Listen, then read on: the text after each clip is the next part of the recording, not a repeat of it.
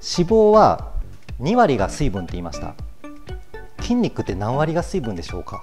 正解は8割です。筋肉はほぼ水分です。だから重いんですよ。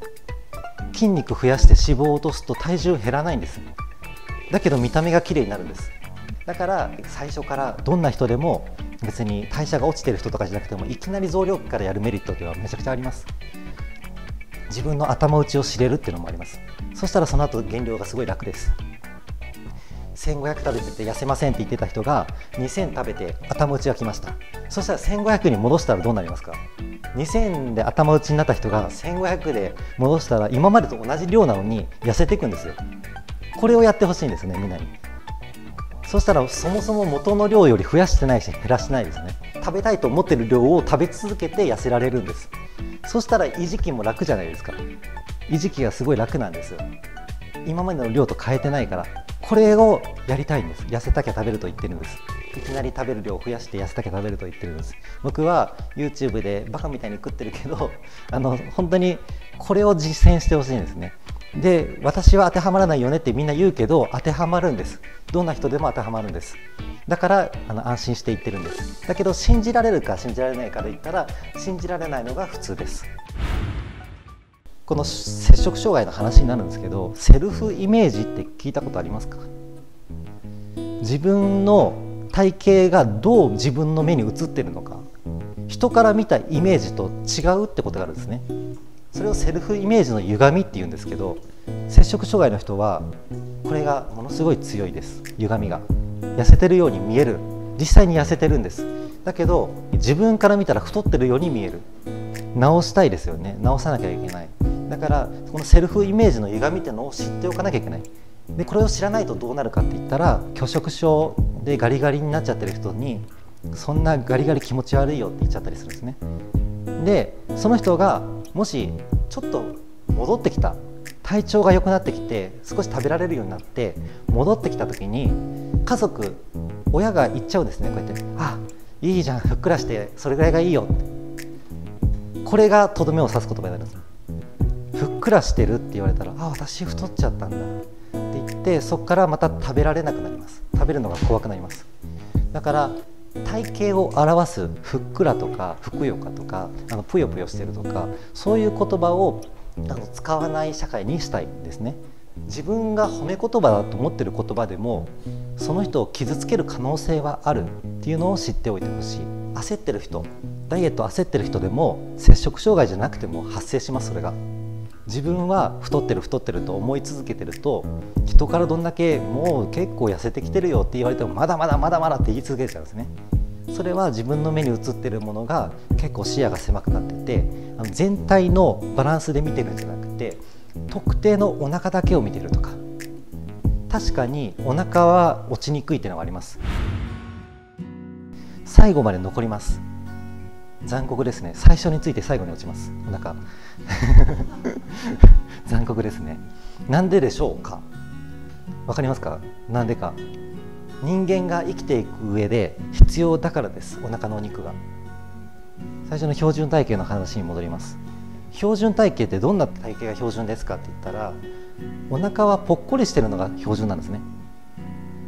みんなお腹へこんでるのが標準だと思っちゃうんですよ。人間はここに非常食を蓄えるんです。飢餓に備えるために。だからどんな人でもお腹に蓄えておかなきゃいけないんです。本当は生きていく上で。だからお腹がへこんでるってことは異常事態なんですね。だけどモデルさんとかはみんなへこんでます。だから余計に焦っちゃうんですね。目標とする人物がへこんでるんだから私もへこんでなきゃいけないよね。でもそれは異常なんですね。人間の標準じゃないんですよ。BMI2122 でそれは実現できないんですね。限界は18.5です。BMI18.5 BMI18.5 が限界だけど18.5もそもそも維持はしにくいです。体がそれを正常だとは感じてないからあの維持がしにくいです。だから八坂方の学校では最低ライン19にしてくださいって言ってます。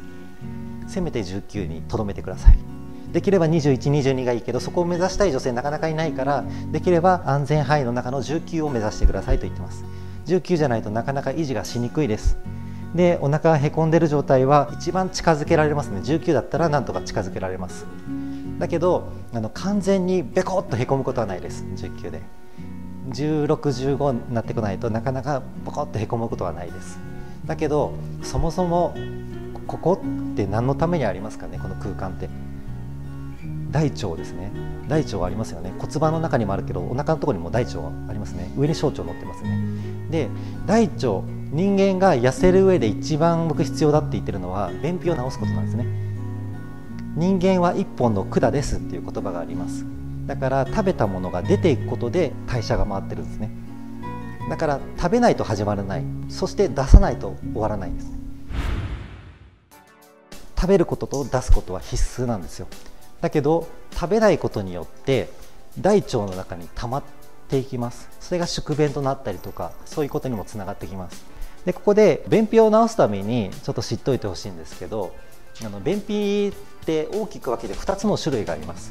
それが大腸に蓄積するタイプと直腸に蓄積するタイプ。直腸って分かりますか？肛門のすぐそばですね。肛門のすごい近いところに直腸があります。直腸に溜まる人ってどんな人ですかって言ったら便意を我慢する人です。タイミングを逃す人です。ちょっと忙しいなとかでタイミングを逃す人っていうのは大腸じゃなくて直腸に溜まりやすいです。食べてない人全然食べてないよ。食べる量が少ないよとかそういう人は大腸に溜まります。大腸は便が大きくなって大腸の壁をぐっと押すことで反射が起こるんですね。これが胃結腸反射って言います。胃袋が広がった大腸が広がった。それによって便意を催すように反射が起きます。それをいい結腸反射って言います。なんかよくところてん式とか押し出し式って言いますね。食べたらうんちがしたくなる。それが正常なんです。それはいい結腸反射です。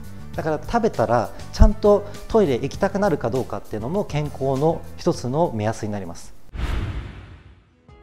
それもし食べても全然トイレ行きたくないんだったら食べてる量が少ないかそもそもそのいい血腸反射が起こらなくなっちゃってるぐらい食べない機会が多かったか今までそういうダイエットしてきたかそういうことにもなります。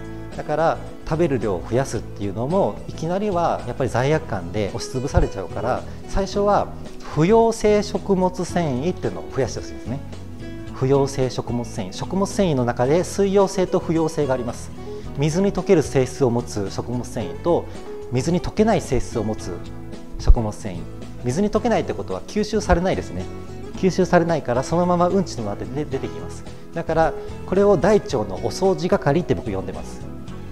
不溶性食物繊維。だから大腸に蓄積しやすい人は不溶性食物繊維を取って増やしてそれで大腸の壁を刺激してほしいんですね。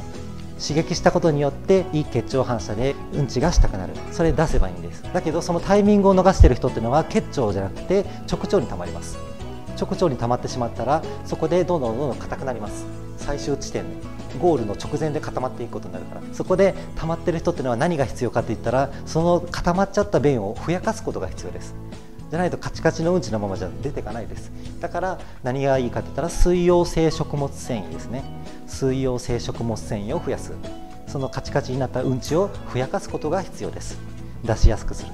だからその自分の便秘の種類に合わせてほしいんですね。普段から食べる量が少なかったとかそういう生活をしてきた人は不溶性食物繊維を増やしてほしい。今までちょっとタイミング逃してたなとか決まった時間に便意を催してたけどその時に結構我慢しちゃってたなとかそういうことがあれば水溶性食物繊維で便をふやかしてほしい。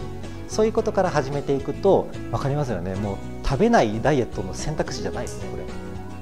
もうそもそも便を出すイコール食べるっていうところから始まりますね。でだけどいきなり何でも食べていいですよって言うと罪悪感感じるから食物繊維から始めてみてください。食物繊維で水溶性なのか不溶性なのかで始めていただくと罪悪感なく食物繊維はそのまま通過するだけですから罪悪感なくまず排便をコントロールすることにつながります。食べることと出すこと。これがまず大原則です。あのダイエットのプランを立てていくときに今自分は出せてるのかどうか。っていうところに目を向けてほしいですね。最後までご視聴いただきありがとうございました。ダイエット講演会のほんの一部を動画にさせていただきました。今更ですが簡単に自己紹介をさせてください。私は鈴木達也と申します。普段ダイエットスクール痩せ方の学校と骨盤矯正サロントライアングルを運営しております。2つの運営店舗の内容は骨盤矯正美容整体資格講座そしてダイエット指導ですが全ての目的は世の中にある虐待や DV 夫婦間トラブルを少しでもなくすため。そのために自分のことを後回しにしてボロボロになりながらも家族を支えている女性の笑顔を守る。これが解決の近道であるという強引な理論を持って活動しております。その理念を掲げた一般社団法人アジアビューティーフィットネス協会は私が接骨院で柔道整復師として院長を任せられながら働いていた4年前に立ち上げました。接骨院で働く前は介護施設で機能訓練指導や整体をしながら土日は仕事ではなくボランティアとしてですが大学生のハンドボールチームのトレーナー活動に参加させていただいていました。身体的な怪我や痛みと向き合ってもう10年となり5万人以上の体をケアしてきましたが柔道整復師としてだけじゃなくて私にできることは全てやり抜きたい。そんな思いから活動の幅を広げています。4年前から月に4回企業向けエクササイズ教室を開催しています。昨年から講演活動も始めました。講演活動を始めた理由は義務教育でダイエットが学べないからです。正しいダイエットを学校で学べずに SNS で得られる情報によって若い世代から摂食障害患者さんが増え続けています。それでもそれを止める術はないかと諦めているかのような教育体制に少しでも力になれるようにといつか学校に回って直接学生さんに講義をすることを目標としながらも東京、大阪、名古屋で講演活動を始めました。ですから正しいダイエットを伝えるだけの講演活動ではなくて食育をテーマとした活動も行っていきます。さらに子どもの運動能力開発例えば走るのを速くするための整体や指導。これらを組み合わせたサポートも春から行っていきます。いろいろなことに手をつけているようですが目的は変わらず女性の笑顔を守るため。子どもの運動能力開発は家族の絆を深めると考えています。長期的な目標としては子連れドームの立ち上げです。女性が子育てを理由にできなくなっていることを可能にする環境を作ること。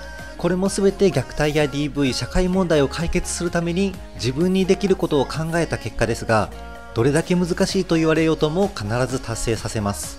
応援していただける方この活動を支えていただける企業様いらっしゃいましたら連絡をお待ちしております。